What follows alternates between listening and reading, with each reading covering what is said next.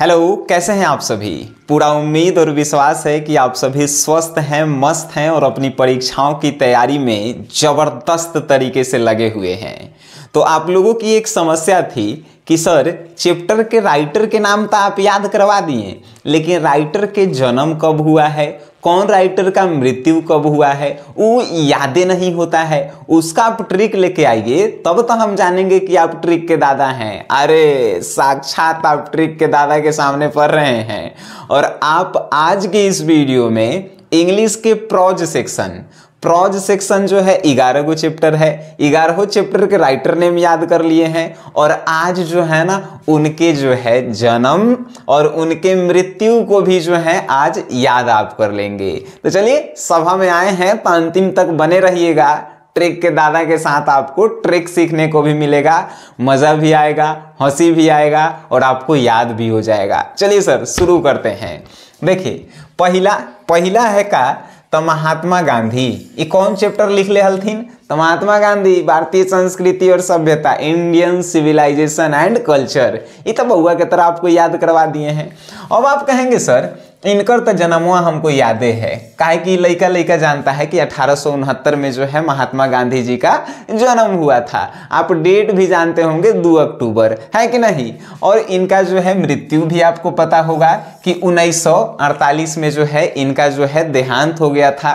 कोई जो है इन्हें मार दिया था, है कि नहीं? तो ये तो याद करके झंझटे नहीं है। आइए दूसर का नंबर से देखते हैं। दूसर का है डॉक्टर जाकिर हुसैन। डॉक्टर जाकिर हुसैन के कर। तो डॉक्टर जाकिर हुसैन मुस्लिम है और मुस्लिम होते हुए कह रहे थे कि नहीं, हम भारत में रहेंगे, भारत मेरा घर है। यानी भारत इज़ माई होम के राइटर हैं। चलिए, अब इनका जो है, हमने की जन्म जो है, याद करते हैं।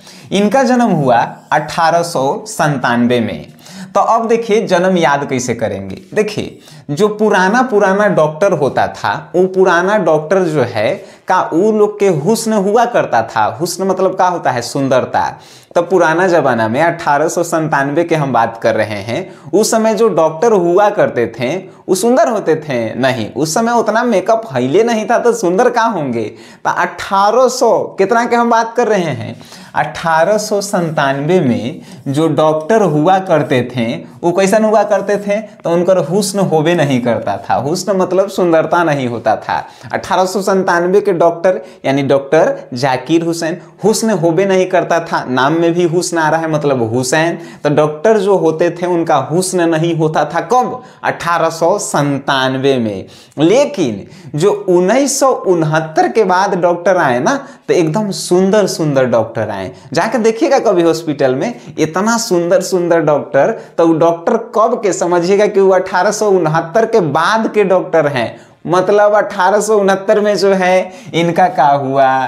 तो डॉक्टर का जो है, जो हुस्न नहीं थे, जो जिनका हुस्न नहीं था, उसका देहांत हो गया। तो अठारह के बाद जो डॉक्टर आए, वो तो एकदम हुस्न पड़ी थे। है कि नहीं? आप याद रखिएगा एक एक बात जो है ट्रिक से रिलेट कीजिएगा, आपको मज़ा भी आएगा। चलिए तो आप ये याद कर लिए। चलिए आइए तीसरका में, मनोहर माल गोवनकर माल गाँव में माँगता है, सब काची के कहता है, सब एक चुटकी खैनी। ए पिंच ऑफ़ स्नफ के राइटर मनोहर माल गोनकर आइए, इनके जन्म को जो है हम निक याद करते हैं, देखिए। इनका जन्म हुआ 1913 में, ठीक है? और इनका देहांत हो गया 2010 में। तो याद कैसे करेंगे? तो देखिए 1913 के हम बात कर रहे हैं। अच्छा खैनी जो है, खैनी जिसको बोलते हैं हमनी के तो का आजे से खाइल जा रहा है। नहीं वो जो है लगभग 1900 ईस्वी से ही खाइल जा रहा है। आ वो घड़ी के तेरह साल के आदमी जो है खाता था, है कि नहीं? 1900 के, उन्नीस सौ से खाइल जा रहा है, आ तेरह साल के आदमी खाता था। तो कुछ नहीं होता था, ठीक है? कुछ नहीं। उन्नीस सौ से शुरू हो रहा है आ तेरह साल तक आदमी खा रहा है। तो कुछ नहीं हो रहा है। आदमी एकदम मस्त, स्वस्थ है, कहा कि पहले आदमी खटता था। लेकिन ये घड़ी के लड़कों के देखिए, दस बीस साल के लड़कनों खाए लग रहा है। देखिए, ध्यान से सुनिएगा पहले आदमी माल यानी कि खैनी का खाता था, ये पिंच ऑफ़ स्नफ तो वो जो है का तो 1913 में होता था, ठीक है? यानी कि पहले 1900 में 13 साल के लड़का भी खा लेता था खैनी। यानी 1913 में इनका जो है का हुआ? जन्म। लेकिन अब 10-20 साल के लड़कों खाता है खैनी। 10-20 साल। दस आ बीस साल। तो दस बीस साल के लड़का जब खैनी खाएगा तो जइहन अपने तेल नापे मतलब कि मृत्यु हो जाएगा। तो मनोहर माल गोनकर का मृत्यु कब हुआ? तो दस बीस साल के लड़का खाएगा, यानी 2010 में हुआ। आ कब खाता था तो नहीं मरता था सब। उन्नीस में जब तेरह साल के लड़का खाता था तो नहीं मरता था सब। यानी उन्नीस सौ तेरह में जन्म हुआ। आ दस बीस साल में खाया तो गैला तेल नापे, यानी 2010 में जो है इनका मृत्यु हुआ। है कि नहीं? मज़ा वाला बात। चलिए एकदम मज़ा आ रहा होगा। चलिए नेक्स्ट है Martin Luther King junior. Martin Luther King junior का जन्म जो है उन्नीस सौ उनतीस में हुआ।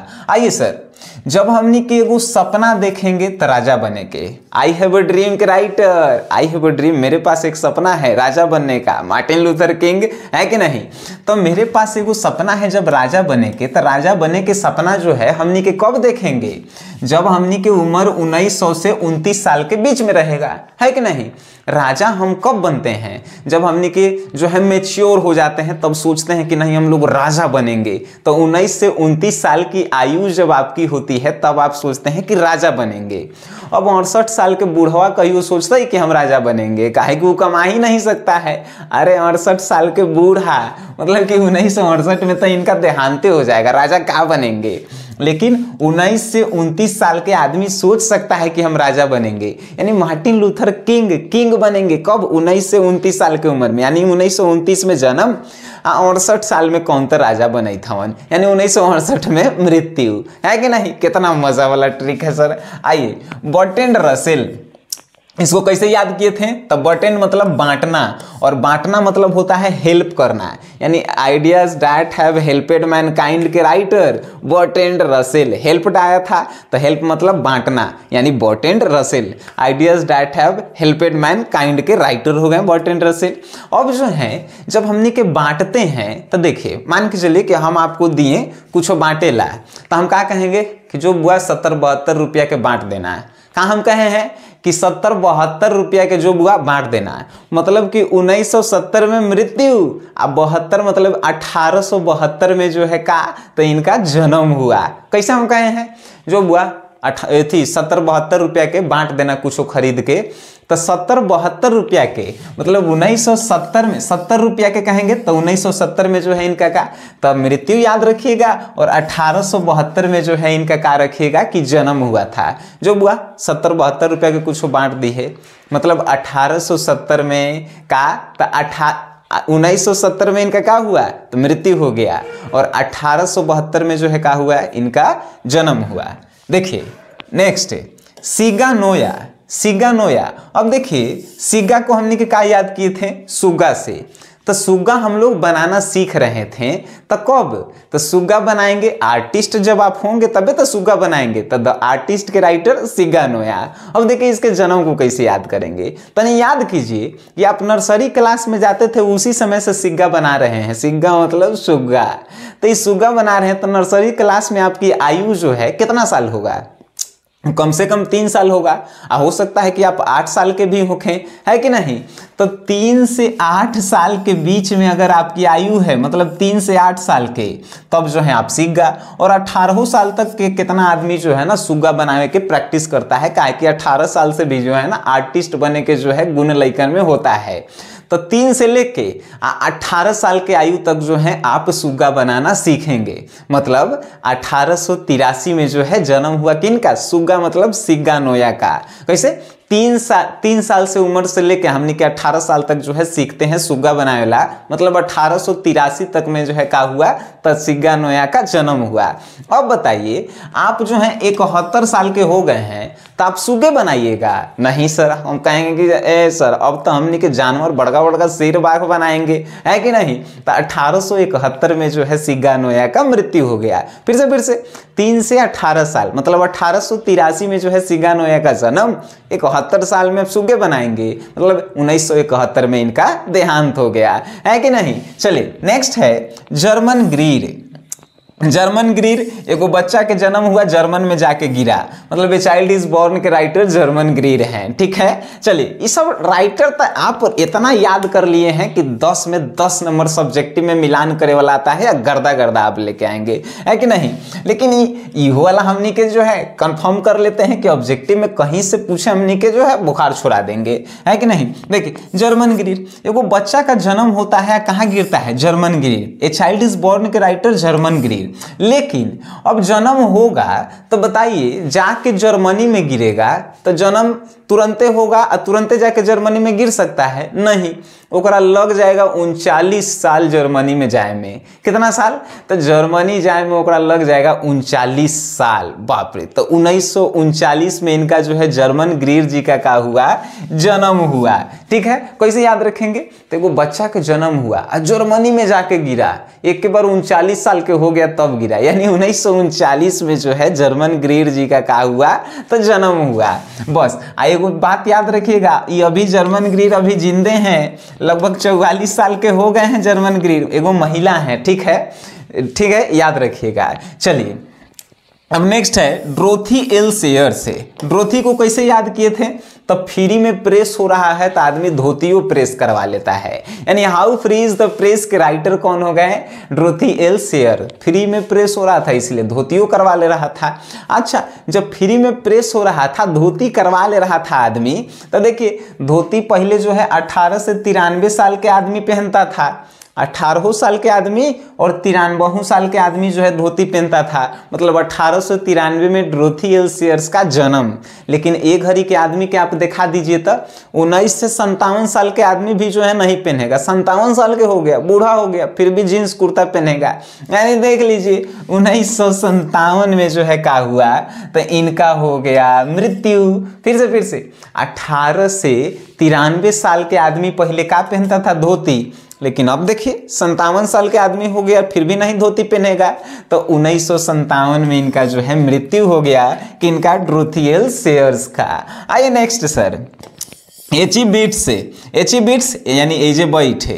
तो एजे बैठ धरती पर बैठ तो द अर्थ के राइटर एची बीट से। अब देखिए द अर्थ के राइटर एची बीट से तो इनका जन्म जो है 1905 में हुआ है। कैसे हमने के याद करेंगे? तो देखिए, हमनी के जो है घरे लैकन होता है तो हमने के नहीं कभी कभी कहते हैं, बुआ एजे बैठ, हम तोरा पाँच रुपया देबुक अबुक तो। कहते हैं कि नहीं? तो ये ये ट्रिक इस पर लगाना है। बुआ एजा बैठो एजा बैठो मतलब धरती पे एजा बैठ। तो द अर्थ के राइटर एच ई बीट से बैठ तो पाँच रुपया देंगे। तो पाँच रुपया देंगे तो 1905 में इनका जन्म हुआ। पाँच रुपया देंगे तो 1905 में इनका जन्म हुआ।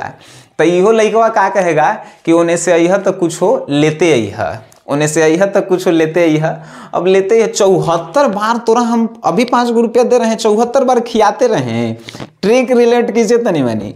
बैठ तो पाँच रुपया देता हूँ बैठ तो पाँच रुपया देता हूँ यानी कि एच बीट्स का जन्म जो है उन्नीस सौ पाँच में। अब कहेगा कि कुछ लेते ही है उन्हें से यह था। चौहत्तर बार तोरा हम पैसे दी तो चौहत्तर, यानी उन्नीस सौ चौहत्तर में जो है इनका का हो गया? तो उन्नीस सौ चौहत्तर में जो है मृत्यु हो गया। ठीक है, और पाँच रुपया देता हूँ यानी उन्नीस सौ पाँच में जो है जन्म हुआ। नेक्स्ट देखिए नेक्स्ट परलेस बक परलेस बक बक खाली घूमे जाता है, घूमना के travel the India through a traveller's eyes के राइटर परलेस बक हैं। अब देखिए, इनका जन्म जो है 18 से अठारह में हुआ। कैसे याद करेंगे?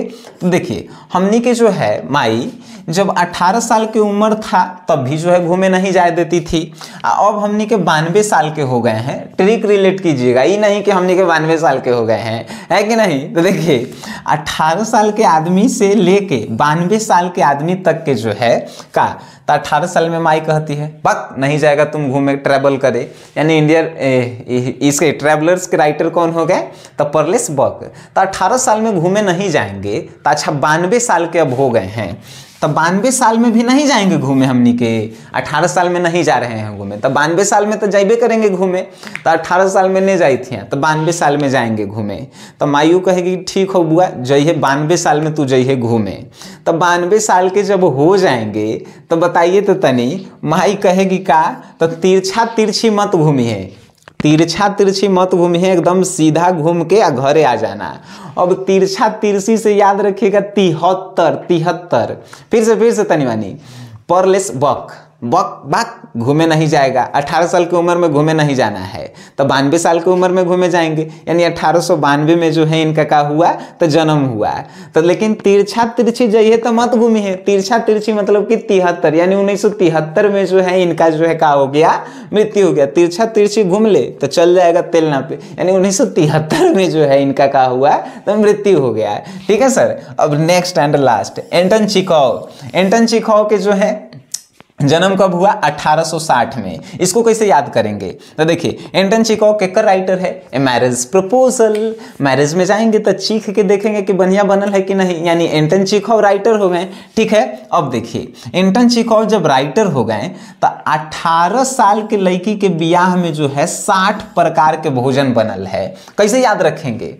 तो 18 साल के लड़की के एगो ब्याह हो रहा है, जिसमें 60 प्रकार के भोजन बनल है। यानी 1860 में एंटन चिकाओ का का हुआ? जन्म हुआ, ठीक है? याद कीजिए मैरिज में जाएँगे तो हमने के जो है का करेंगे? चीखेंगे। यानी ये मैरिज प्रपोजल के राइटर एंटन चिकाओ अट्ठारह साल के एगो लड़की की शादी में 60 प्रकार के व्यंजन बना हुआ है। यानी 1860 में जन्म।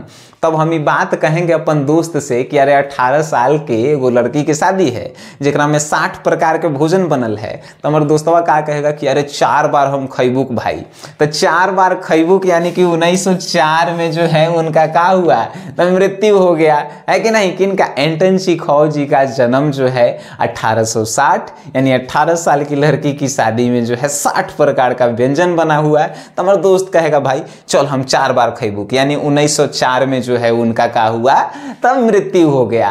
अब बताइए एकरा से बढ़िया ट्रिक अगर आपको कहीं यूट्यूब पे मिला है तब आप हमसे कह दीजिएगा कि सर आपका ट्रिक खराब था। हमें उम्मीद है।